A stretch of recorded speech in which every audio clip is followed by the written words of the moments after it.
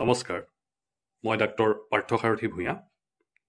বৰ্তমান ভাৰতৰ বিভিন্ন প্ৰান্তৰ লগতে আমাৰ অসমতো যথেষ্ট ঠাণ্ডা পৰিছে। আৰু এই সময়ছোৱাত সৰু ল'ৰা ছোৱালীকে ধৰি ডাঙৰ মানুহলৈকে বহু লোক জ্বৰ চৰ্দি কাহ আদিত আক্ৰান্ত হোৱা দেখা গৈছে। বৰ্তমান বৰষুণৰো অভাৱ আৰু সেইবাবে পৰিৱেশটো বৰ ধূলিময় হৈ আছে। আৰু এনে সময়ত প্ৰতি বছৰেই দেখা যায় যে বহুতো মানুহ জ্বৰ চৰ্দি কাহ আদি ৰোগত আক্ৰান্ত হয়। আচলতে এইখিনি সময়ত এই ৰোগবিলাক কিছুমান ভাইৰাছৰ বাবে হয় আৰু সেইবাবে আমি ভাইৰেল ফিভাৰ হোৱা বুলি ইয়াক কওঁ। এতিয়া এই ভাইৰেল ফিভাৰৰ পৰা বাচি থাকিবৰ বাবে আমি আচলতে ক'ভিডৰ সময়ত যিখিনি নিয়ম নীতি শিকিছিলোঁ সেইখিনিয়ে আমাৰ কৰণীয়। তাৰ ভিতৰত প্ৰধানকৈ আমি আমাৰ হাত দুখন যিমান পাৰোঁ চাফা কৰি ৰাখিব লাগে আৰু সঘনাই ক'ৰবাত বাহিৰৰ পৰা আহিলে বজাৰৰ পৰা আহিলে চাবোনেৰে হাতখন ধোৱাৰ আমি এটা অভ্যাস কৰি তুলিব লাগে।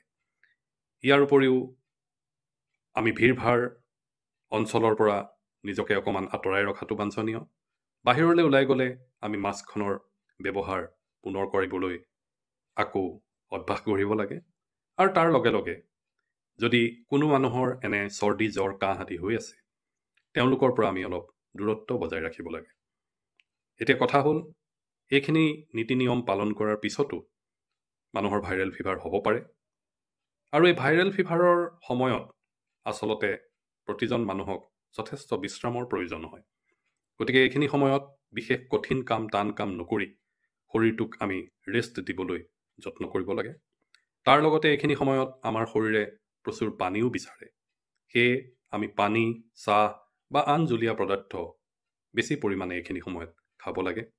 আমি কুহুমীয়া পানী বা চাহৰ দৰে গৰম পানীও চিপ চিপকৈ মাজে মাজে খাই থকাৰ অভ্যাস কৰিব লাগে।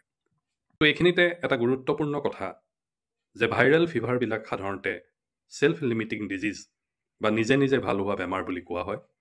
গতিকে চাৰি পাঁচদিন ছদিন বা এসপ্তাহৰ ভিতৰত এই ভাইৰেল ডিজিজবিলাক নিজে নিজেই ঠিক হৈ যায়। আজিকালি দেখা যায় যে মানুহৰ এটা প্ৰৱণতা হৈছে যে ফাৰ্মাচীলৈ গৈ এনেধৰণৰ জ্বৰ কাহ চৰ্দি আদিত অভাৰ দ্য কাউণ্টাৰ বুলি যিটো কয় কিছুমান এণ্টিবায়'টিক আনি ব্যৱহাৰ কৰে। কিন্তু আচলতে এনেদৰে যধে মধে এণ্টিবায়'টিক ব্যৱহাৰ কৰাটো বৰ বেয়া কথা। এনেদৰে এণ্টিবায়'টিক ব্যৱহাৰ কৰিলে সেই মানুহজনৰ শৰীৰত এণ্টিবায়'টিকে কাম কৰাৰ ক্ষমতা লাহে লাহে কমি যাব পাৰে আৰু ভৱিষ্যতে তেওঁৰ বিপদো হ'ব পাৰে।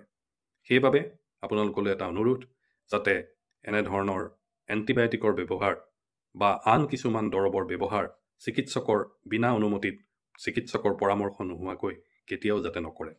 এইখিনি সময়ত ভালদৰে বিশ্ৰাম লওক ভালদৰে আহাৰ খাওক আৰু গৰম পানীৰে সদায় দিনটোত নিমখ পা নিমখ মিহলাই তিনি চাৰিবাৰমান গাৰ্গল বা কুলি কুলি কৰক। আপোনালোকে নিশ্চয় ভাল পাব। গতিকে ভালে থাকক সুস্থ থাকক। ধন্যবাদ।